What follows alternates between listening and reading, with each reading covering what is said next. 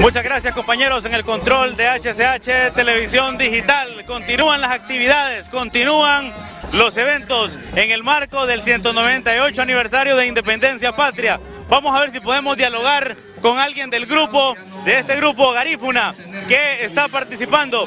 Vamos a hablar acá brevemente con una de las integrantes del grupo para que me hable un poquito. ¿Cómo se llama el grupo? Es Rafael Pineda Ponce. Ah, háblenos un poco, ¿qué es lo que ustedes promueven con este grupo? Estamos representando nuestra cultura, orgullosamente nuestra cultura garífuna. Ajá, el tipo de baile que se está haciendo en estos momentos. Es el yurume, es el, es el canto que nos identifica a nosotros como garífunas.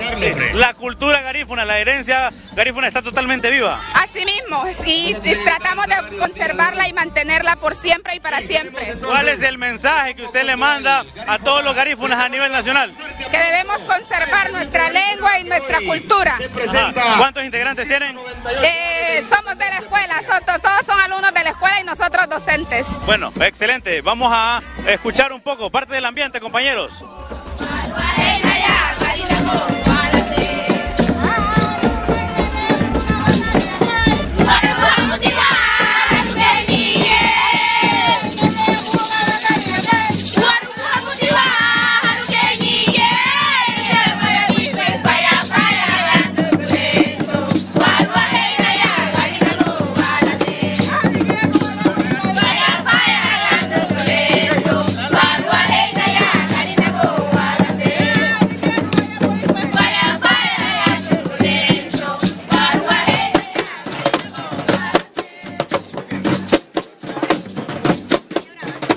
Vamos a escuchar un poco de la percusión de los tambores de este grupo garífuna Garinagú, aquí en Trujillo.